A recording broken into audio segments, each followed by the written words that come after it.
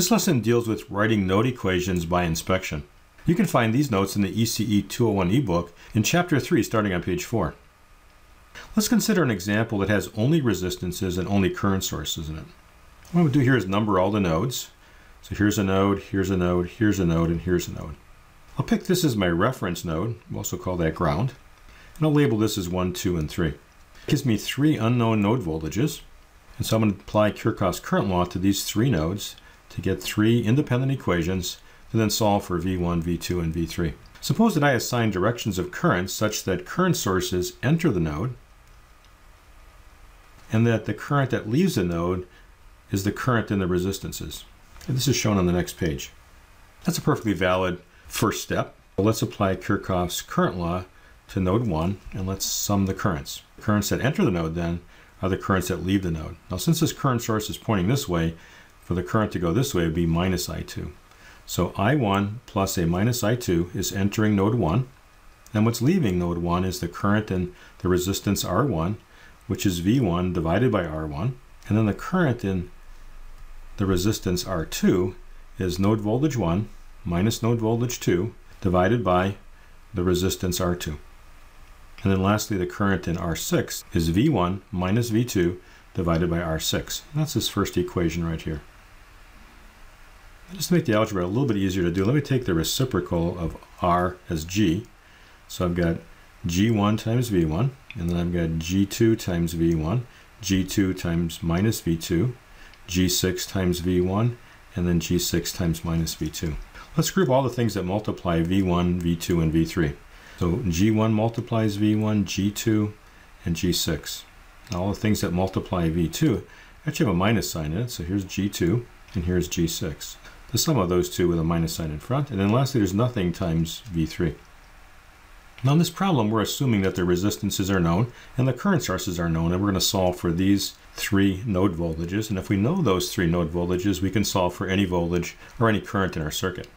And now let's take a look at node 2. And let's do the same thing. Let's assign currents that are entering a node as only the currents from current sources, and the currents that leave the node will be the currents and the resistances. Now normally we wouldn't bother to do this because we've already defined a direction for the current in R2 and R6. But if we do this, there's an interesting pattern that emerges. And we're going to use that pattern to set up an inspection algorithm.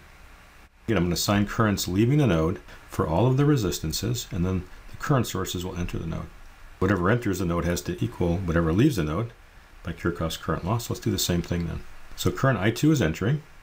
Now the current that's leaving is the current in this resistance, which is going to be now V2 minus V1 divided by R2, or times G2.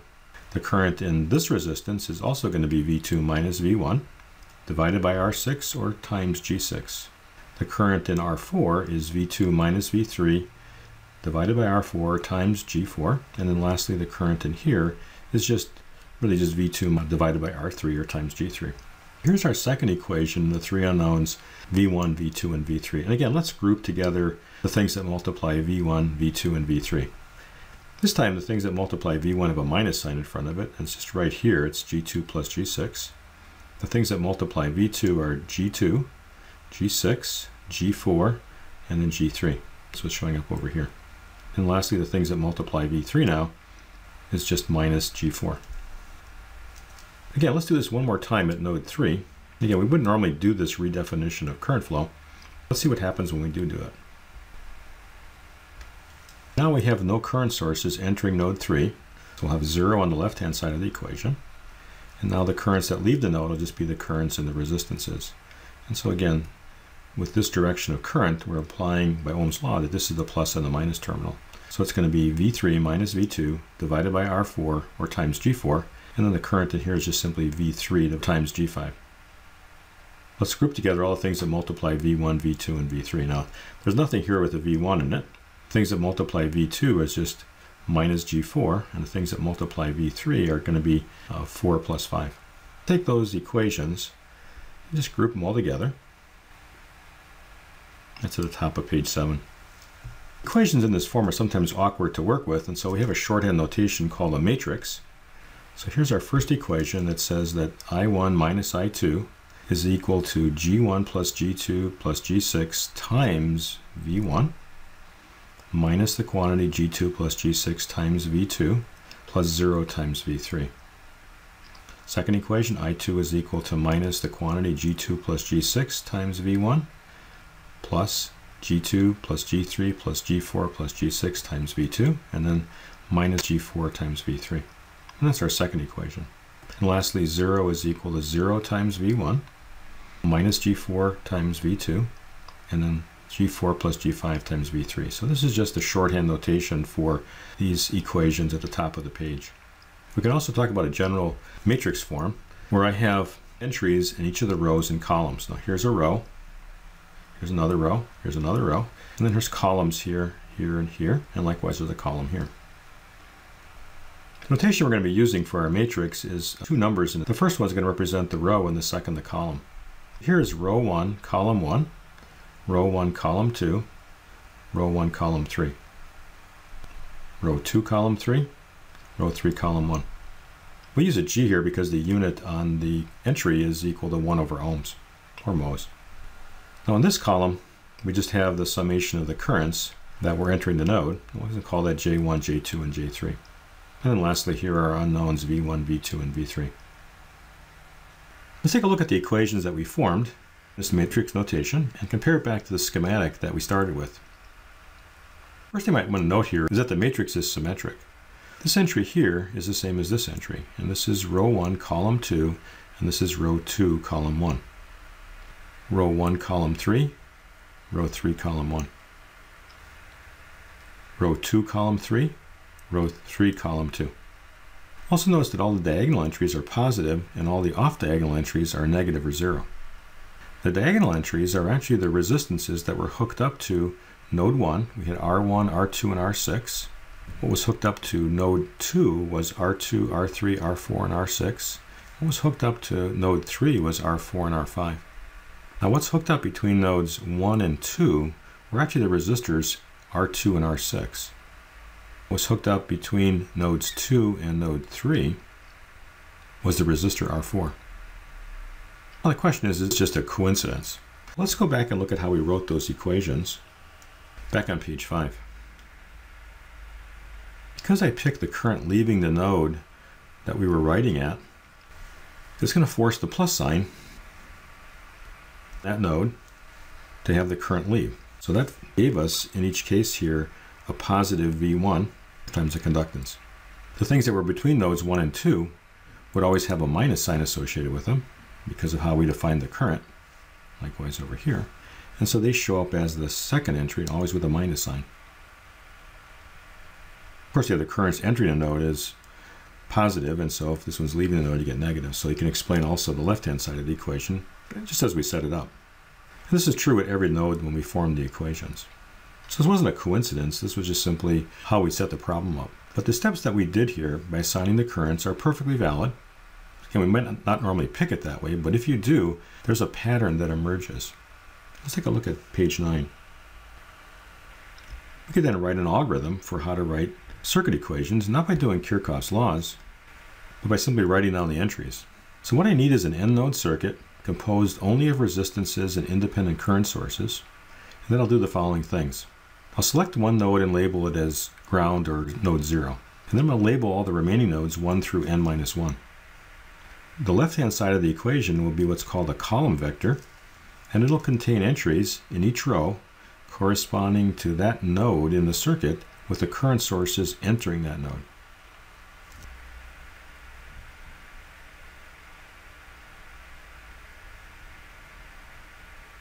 Our matrix will have n minus 1 rows and n minus 1 columns, and the diagonal elements will be the sum of the conductances that are hooked up to that ith node. In other words, 1, 1, 2, 2, and 3, 3.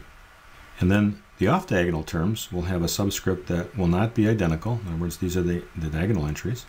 And they'll all be a summation with a minus sign in front. And these will be all the conductances that are between nodes i and j. And lastly, now we can have a shorthand notation for our matrix where the left-hand side of the equation is the summation of our currents entering the nodes, our conductance matrix, and then the unknown node voltages, where the entries here will be called a column vector, where I've got n minus 1 rows and these correspond to the node voltages 1 through n minus 1. Let's do an example.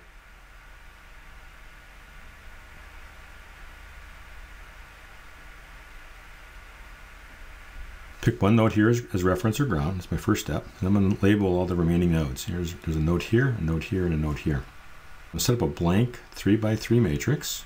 I'm going to fill in these entries with our algorithm, and then likewise a blank column vector here that has three rows in one column. And then these are my three unknowns, V1, V2, and V3. We go to node 1 here.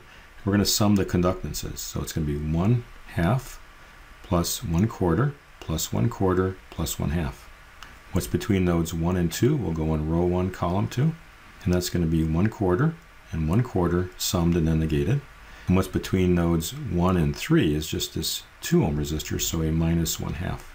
The current sources that are entering the node here are going to be this current here, which is minus 3, and then this current here, which is all going into this node. That's my first equation. Let's go to the second node. Let's erase this. Second note here, I've got one, two, three, four resistances. So let's go put that in row two, column two. One quarter plus one quarter plus one over one plus one over one. Now what's between nodes two and one is still the same thing. We could write it again or just simply copy the entry back down over here. But it's a kind of a way to check to see if we did the math right. So one quarter plus one quarter negated. Between nodes two and three, I have two elements hooked up. So one over one plus one over one negated. Now there aren't any current sources entering here, so I've got a zero. Then lastly, let's take a look at node 3 here. I've got this current entering, and of course I got this current entering, so I've got minus 2 plus 4 over here. And then let's sum the conductances at this node.